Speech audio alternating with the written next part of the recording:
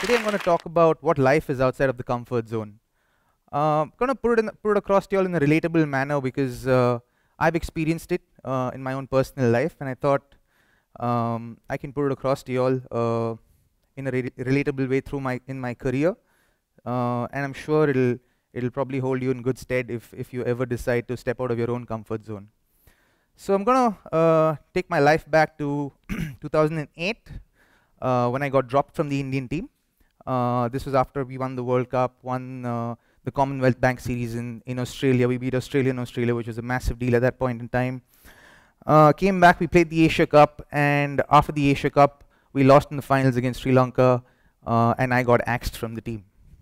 So, uh, talking about my childhood a little bit here, I come from a family where, like a lot of families in our country, we don't, we didn't necessarily have a great family life.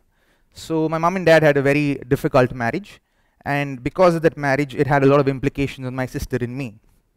So uh, even though I made it to the international scene, played cricket pretty well, when I got dropped from the Indian team in 2008, I decided I'm going to spend some time uh, and energy uh, to fix their or help in fixing their marriage because uh, they were always dependent on my sister and I to, to kind of help them out uh, in whatever situation that they went through. So I thought maybe three or four months and then get, I'll get back to my game because it was the off season at that point in time.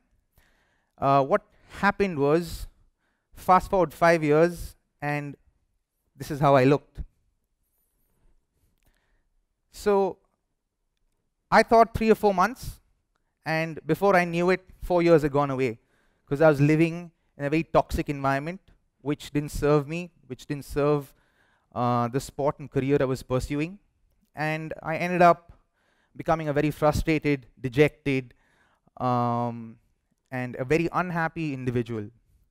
So much so that I saw my progress in the failure of my teammates in performances. And uh, in spite of being the second highest earning IPL player at the time in 2010, I was extremely unhappy. So what happened was uh, when I got to that place uh, in 2010, 2011, 12, I reached a place where I couldn't look at myself in the mirror because I had to be honest with myself and uh, uh, I didn't like the person I was seeing. I was going through depression, I was upset, I was frustrated, and um, a little suicidal as well, let me be honest. And that's when I decided that I either should end my life or do something else with it. I didn't want to play cricket in spite of being, you know, second highest earning IPL player at the time. I didn't want anything to do with a game that I loved because I despised who I'd become. And what happened at that point was uh, I decided to speak to the only person I trusted, uh, my best friend at the time, my wife today. Uh, I decided to speak to her. So when I spoke to her about it, I told her that uh, I either want to give up on life or I want to restart my life in some corner of the world, start from scratch, because I can't live like this anymore. I can't live with who I've become over the last few years, and I don't think I'll make it back into the international scene, and it hurts me deeply that uh, I love something so much, and I, I made it my profession, but I'm not able to pursue it anymore. So the one thing she said to me was, let's do a thing. You want to quit the game? Quit the game. But if you can defer your decision by six months. So I said, why? And what she said to me was, for the next six months, just play cricket simply because you love the game. For no other reason. Don't compete, don't be in the rat race, don't try to get into the Indian team, don't do anything. Just play the game simply because you loved it.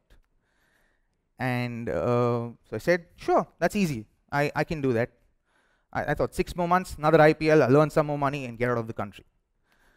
And um, the next thing she said was, if there's one thing you want to change about yourself, Rob, what would it be? I said, have you met Robin? You know, that was 1st of Jan 2012, guys. I look like that. I was 26 years old. I look 40 years old. I weighed almost 100 kilos. And I was extremely unhappy.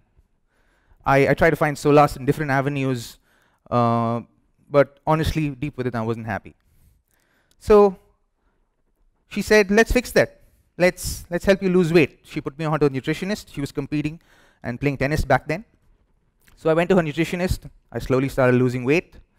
And the first tournament I played after, the, uh, after that, I played five games of uh, Vijay Hazare. That's one day domestic cricket.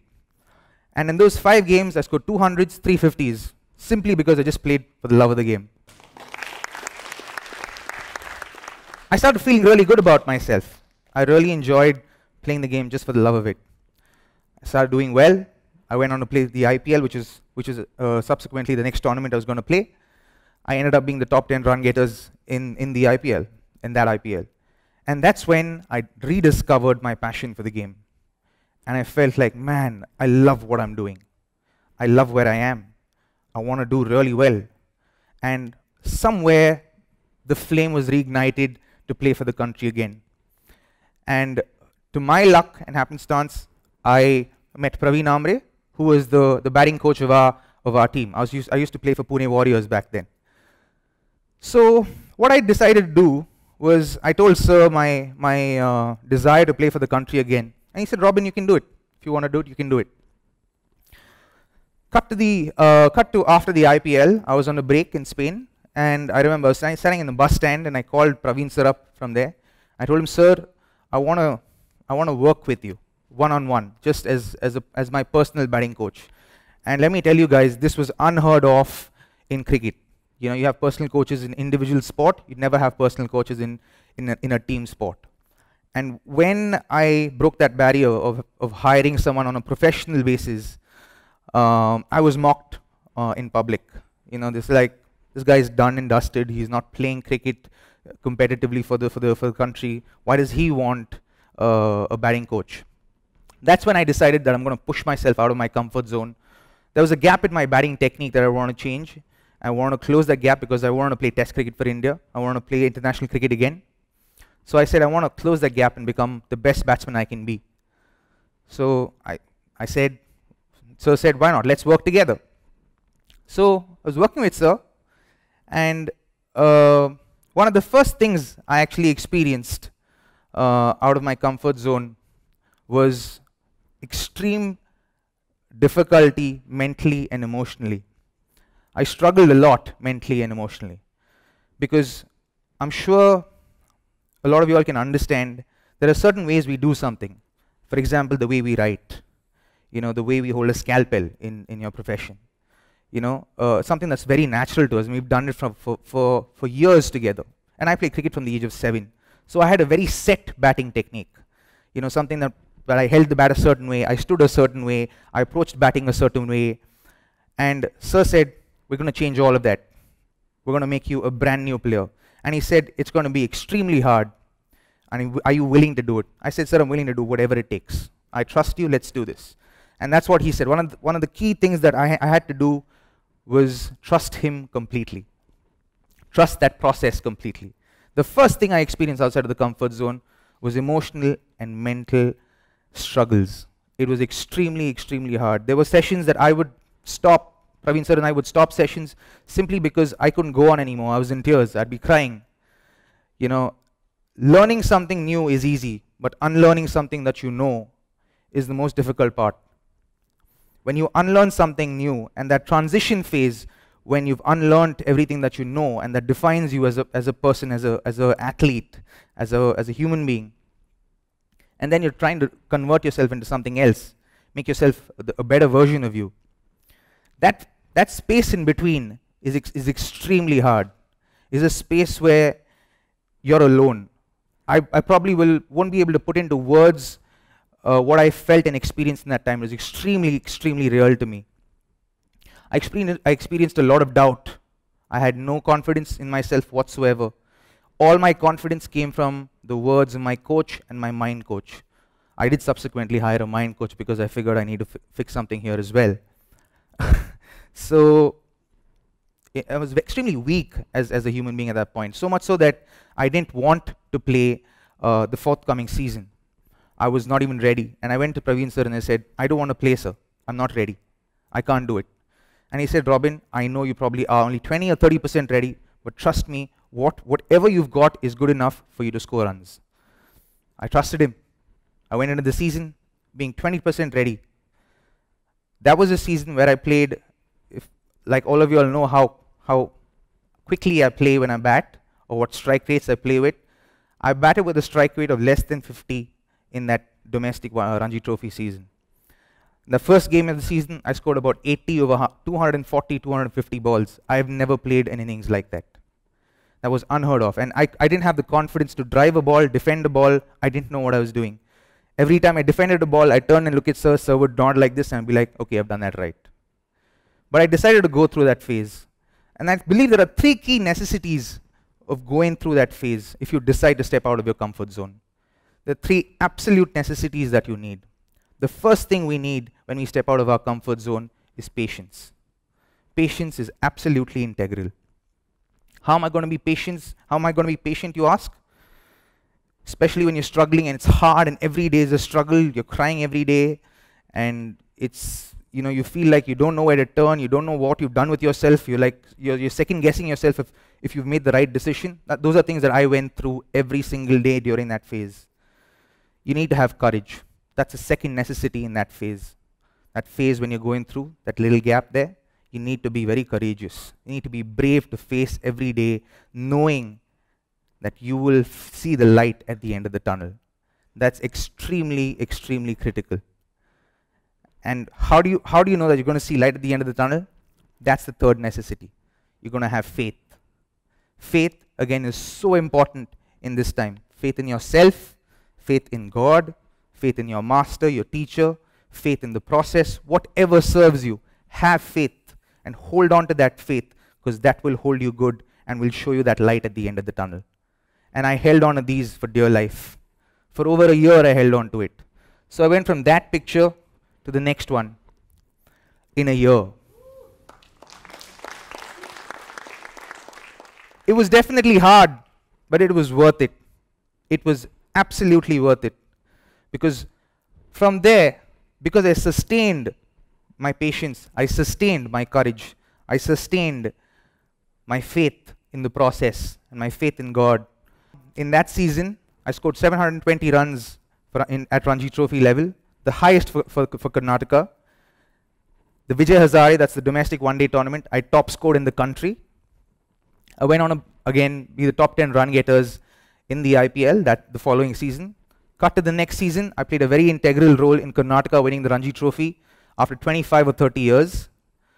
I again top scored the Vijay Hazare in the entire country. And then I became the highest run scorer in the IPL and won the orange cap, the second guy to do it after Sachin Tendulkar. And the best part of it all, we won the championship. No Indians ever done that. To win an orange cap and the IPL in the same year. What I'm really trying to tell you all is that stepping out of the comfort zone has been the best decision I have made in my life. It it's hard. It makes you struggle. It brings you to your knees. It makes you drag your feet. You cry, you weep, you whimper. But if you sustain that, if you go, if you're willing to be brave and have the will to go through that hardship, what will come out is this. And what I have learned personally is that over a period of time, I enjoy stepping out of my comfort zone. Today, I challenge myself from time to time. I go through physical transformations because I have a slow metabolism, so I make sure that I, I challenge myself in that sense because every time I step out of the comfort zone, what I encounter at the back end of it is growth. The light at the end of the tunnel for me is growth. And that, I'm telling you, is the best feeling. You don't grow as a human being, you you, you actually experience who you are deep within your soul. And I would love and I would encourage all of you here to truly push yourself outside of your comfort zone because there's something magical waiting for you there. Your real true self, who you actually are born to be. And that lies only outside of the comfort zone. Today, after challenging myself and pushing myself out of the comfort zone, this is where I am. I have a little, little son, a wonderful wife, and a wonderful family who I'm extremely grateful for, who challenge me, who accept me, and help me push boundaries. And, you know, this is where I am. Uh, to, be, to stand here and to be able to talk to you all and share with you all a small part of my journey. I did subsequently come back and play for the country. I made a comeback, and I still will make a comeback because that's all the part of the process, you know. Lastly, I'd like to say, all of you all are young, all of you all have the choice to step out of your zones, to step out of your comfort zone, to step out of your own box and do something. Like a lot of these innovators here today who came and spoke before me, who performed before, before I did, who we heard speaking on, on, on the video before, before I, I spoke here today. I think all of these people have stepped out of their box in unique and, and intelligent ways. And I'm sure and I'm very certain it could be a personal life, it could be a professional life. There is room for improvement every single day. You got to find what you want to improve and be willing to be courageous enough and have the will to step out of your, step out of your comfort zone because there you will encounter growth. Thank you very much for having me. It's been an absolute pleasure.